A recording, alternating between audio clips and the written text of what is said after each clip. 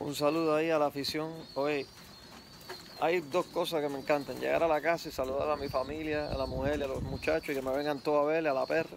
Y después lo próximo es venir para aquí afuera a palomear, a soltar algo. Eh, no sé todo el mundo cómo lo traten, pero bueno, voy a soltar los pichones ahora y voy a soltar otros que nunca he soltado hoy. Vamos a ver. Espero que no sea un día de tristeza porque vengo alegre y, y no está la ventolera muy mala en el área. Vamos a ver. Dale.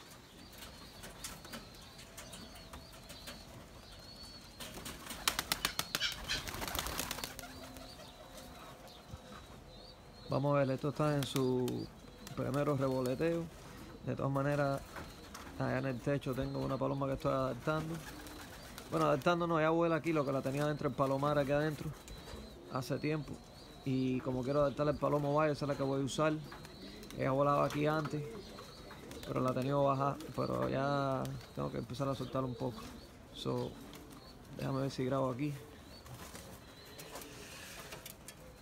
Los que voy a soltar hoy por primera vez no son estos. Van a ser los que están ahí al lado de la paloma. Déjame coger ya de paso y echarle comida a esta gente. Y entonces soltar a los pichones. Primero voy a soltarlo en el vistero. Que tengo la paloma. ah, para que salgan, no salgan muy impulsados. Y después los voy a coger y soltarlos del vistero. So, dame contar aquí para bajar y echar comida allá, porque esto de estar subiéndose aquí no es fácil.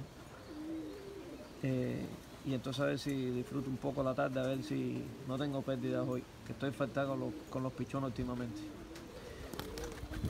Eh, ¿Qué pasa? Este es geniense, que lo tengo aquí para que se estire, no lo quiero tener adentro del cajón entumido. Pero mira cómo está el palomeo, mira.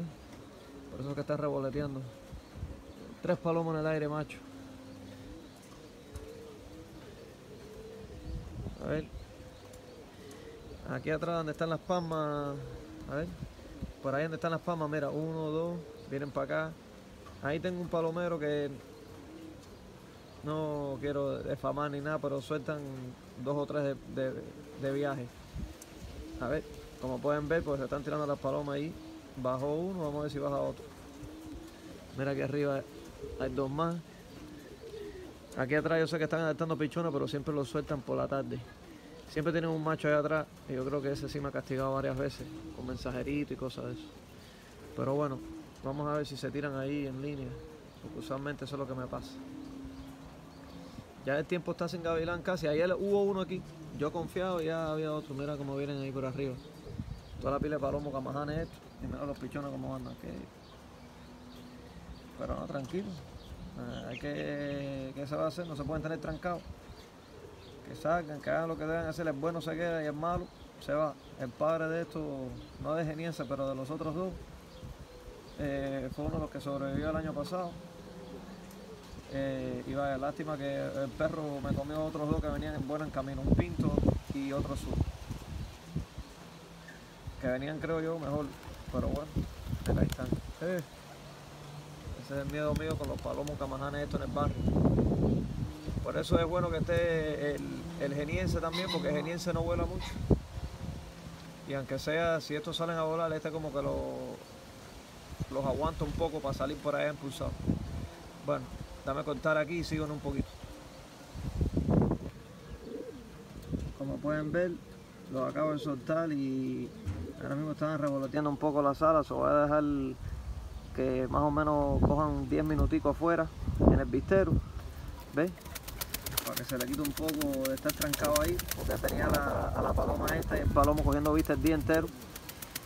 Como se ve que el tiempo es limitado, y bueno, vamos a soltar la- ahora los pichones por la tarde y dejo la paloma y el palomo adaptándose durante el día y cazándose ahí a través del vistero para después empezar a soltarlos juntos, a ver si para el fin de semana ya lo, lo suelto juntos.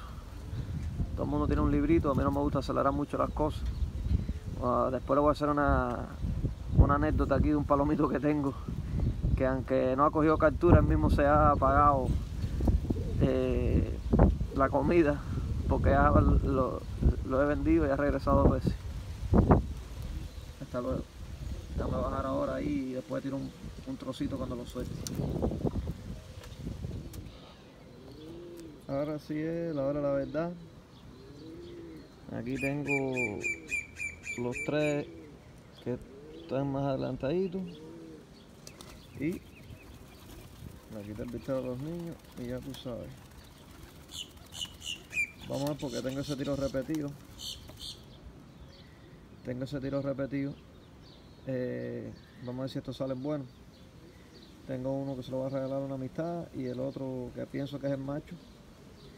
Uh, quiero quedarme con él. Este no sé por qué, para mí que el que estaba leteando es el macho y el que se quedó más cerca al cajón es la hembra. Pero bueno, ahí estoy dándole visto otra vez a la hembra esta, que no debe volar mucho, pero bueno, para estar el palomo no me hace falta que vuele mucho. Esto es lo que me pone a mí mal. Falta que no coja para el cable. De ahora viene la ventolera. Te falta aterrice. Pero mira, mira para dónde va. Ven para acá, coño. Se va a tirar en la mata. Primera, primer vuelo.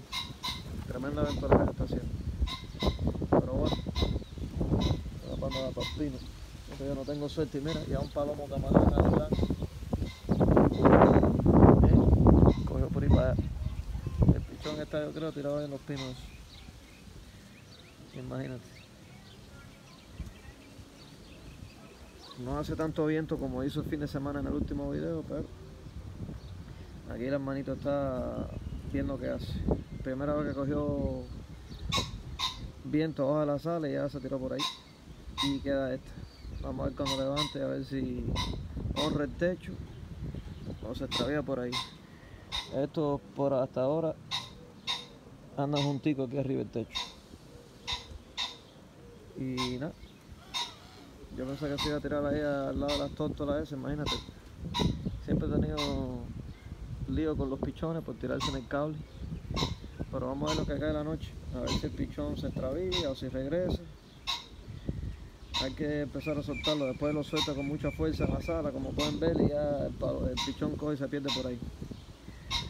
Yo cualquier cosa dejo un, un palomo mañana suelto aquí y no sé tranco la paloma y pongo el vistero, no sé, yo tengo que pinchar mañana, eso veces quien pueda, si no, mira por allá un palomito volando, aquí atrás salen otros también, eso lo cogen por el carajo. Bueno mi gente, le aviso si regresa para el techo, le tiro un videito y si no, bueno, hay otro en camino volando.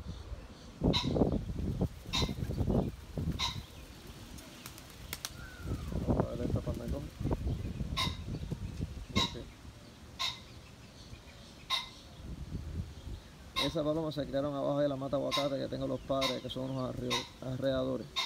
So, vamos a ver. El que yo quería que era macho fue que creo que se extravió por ahí para allá. Vamos a ver.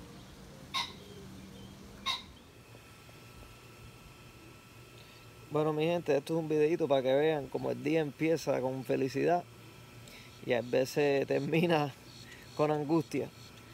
Así es este deporte o este hobby sueltan los bichos y hace un poquito de viento, pero no mucho. Pero para que vean, solté el pichón y lo primero que hizo como un papalote fue subir, subir, subir, subir, subir y perderse. La mano ahora está tirada aquí atrás de la mate mango. Eh, imagínate, una mate mango. Y yo sentado aquí a, 10 pies del cajón, sentado sin moverme ni nada. Y la paloma revoleteó y cayó arriba de la mate mango ni en el cable. So, no, mañana tengo que irme para el trabajo y si están aquí bien por la tarde y si no meto dos manos huecos ese para el carajo.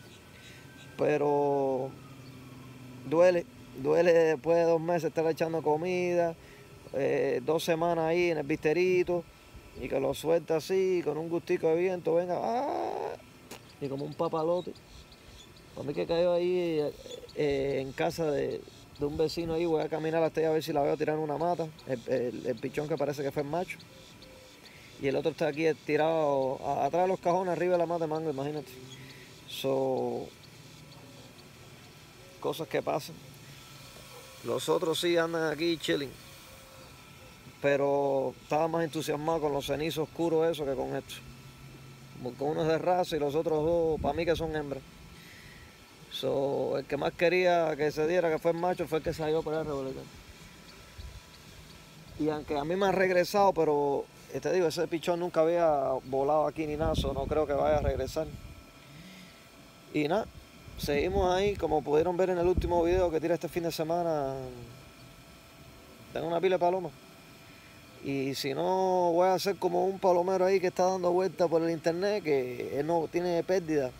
Los míos tienen anillo, todos los que vieron tienen las patas rojas, tienen anillo, capricho. Capricho. Y vivo aquí, ustedes saben de vivo, pues llevo aquí ya más de 10 años palomeando. yo sé que aquí la gente son parecidas a otro palomero que estaba yo hablando, que no ponen anillos, y si los ponen, sacan muy pocos pichones y lo que vuelan son palomas readaptadas. So, ya aquí yo siempre he sido un donador, he tenido uno, dos, tres palomitos y los mejores me los ha comido eh, el gavilán. Ah, por confiarme, porque yo soy así, yo empiezo a destapar eh, vistero y como pueden ver, paloma en el aire no tiene dueño parece, porque ni llaman para atrás, ni, ni ponen ni en los forros ni nada. Son tranquilos, por eso yo también las últimas dos o tres capturas, uno sí llamé para atrás al muchacho y nunca me llamaron para atrás, pero hay otros que se van del parque, olvídate eso. A muy pocos aquí los llamo para atrás en, la zona. Eh, pero bueno, seguimos palomeando, mi gente, cuídense por ahí.